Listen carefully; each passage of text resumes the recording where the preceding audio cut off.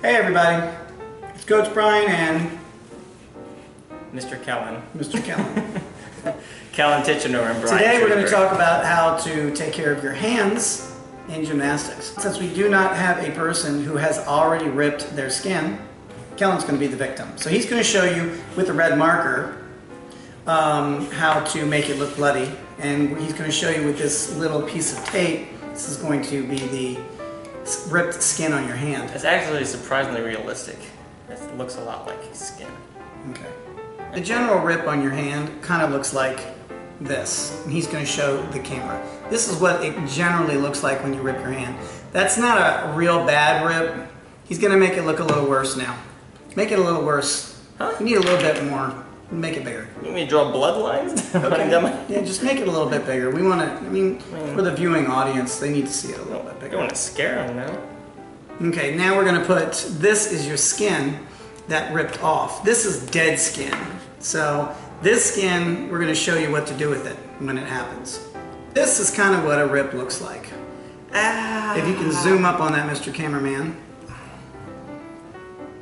Basically, this happens when the calluses on your hands get a little bit too big. And the best thing to do with your hands is you want to try to sand or file those down. You can use a piece of sandpaper, or you could even use um, like a nail file or what they call a pumice. Nail clippers. A pumice stone. The thing for your feet. Yeah, one of those things you, I don't do that. Anyway, uh, you can file these down. If you don't file these down, they're, they're called your calluses. They'll rip off. And that's what happens and this hurts, okay?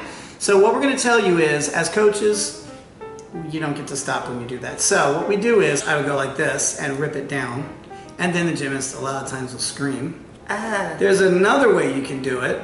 You can take a pair of scissors or nail clippers and clip it very, very, very close so that you own your skin, so that it looks like this, okay?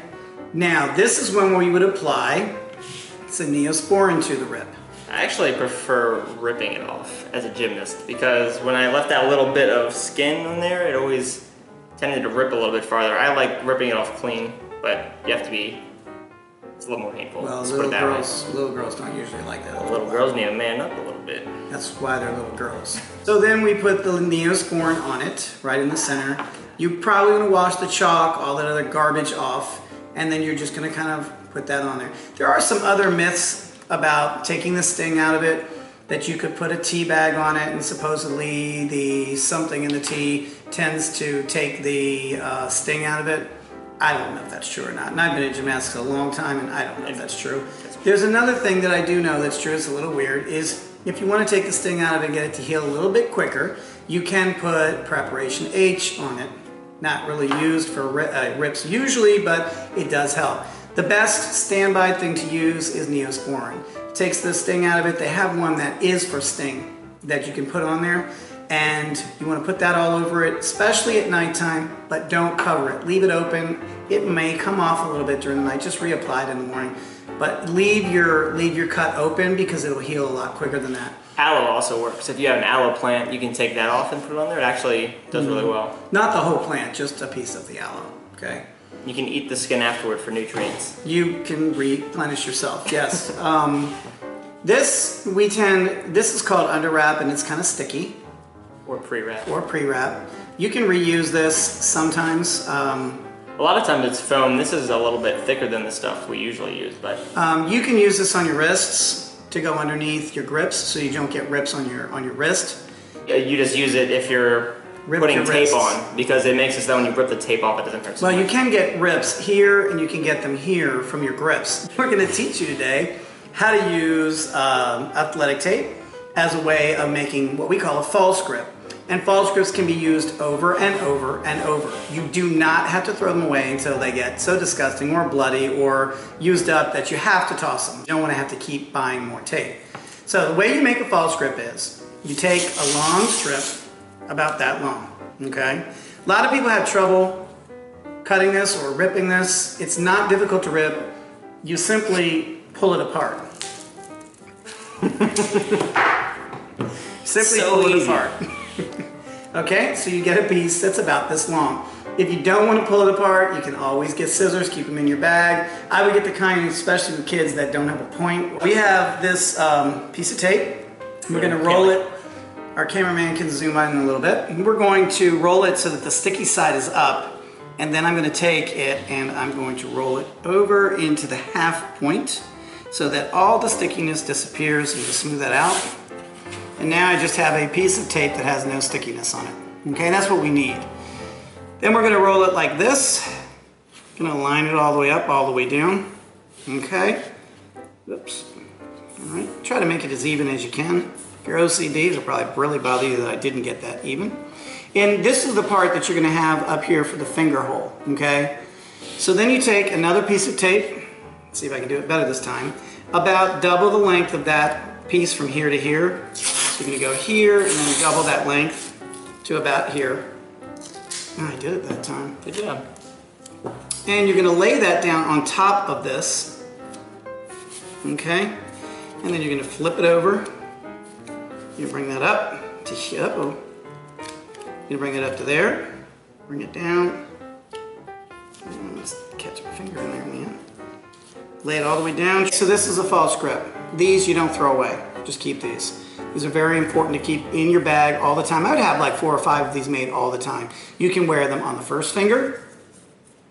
You can wear them on the second finger, third or fourth, whichever, wherever the rip is, you can use it. Okay, I'm gonna show you on Kellen's hand. His rip is here, so we're gonna put it, Shouldn't have practiced with my wedding ring on. That's why I got a rip. Put your finger through the hole, and you just want to obviously whatever. Usually your rips are going to be underneath one of your fingers. That's where your calluses develop. So you just you can the- rip the center of your palm out too. That's Yeah, I've done that. That's- That one you get off bars for. Well, you can even use these if you have one, a big one in the middle of your hand. You can even use two of these together to cover your whole Mm-hmm. entire palm. But you just put it down like this. And if you were going to use the pre-wrap, the way that would work is you would just have this around your wrist so that when you put the tape on, like for me, Again, I don't see the point in the pre-wrap because the tape's gonna do it.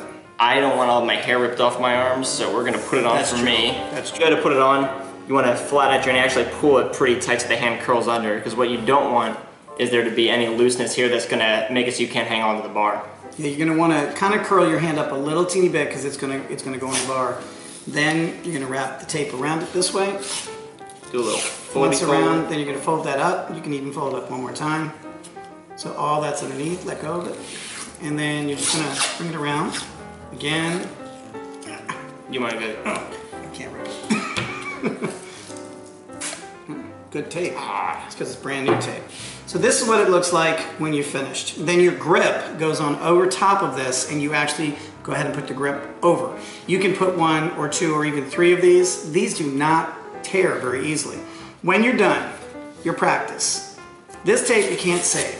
So this part of the tape you're just gonna get rid of. I've seen people save it, but I don't think it's necessary. Uh, the pre-wrap you're gonna take off as well. you can take it off from the seam, it helps. And then you're gonna take this piece, and you just put that back in your grip bag. In your grip bag, I would have roll of tape. If you want the pre-wrap, I think that's important. This does not go in my gym. It goes in the trash. And this part, you're gonna keep. Keep the Neosporin. You also may wanna have your little scissors in there. Always have a grip bag and have your grips and your wristbands. Your wristbands should be about this long and they should be fairly thick if you don't wanna get rips on your wrists. and this is pretty realistic. Okay, well, that's how to take care of your hands. It's very important to take care of your hands. And also, one other thing would be to put lotion on your hands at night. That'll keep them moist so from cracking. So what you want to do is you want to keep this Neosporin or lotion on that skin so that it doesn't continue to crack. I wouldn't keep it covered the whole time though, because you do need it to kind of dry up so that it hardens a little bit. In practice, it's okay to get chalk in it. It's not going to get infected or anything else like that. I've actually never seen a rip get infected ever. Just be ready for when you wash your hands, because it's gonna sting. It's going to sting. And this is part of gymnastics. You're going to have to get used to. You're going to get rips, and it's just part of the sport. Well, thank you. That's it.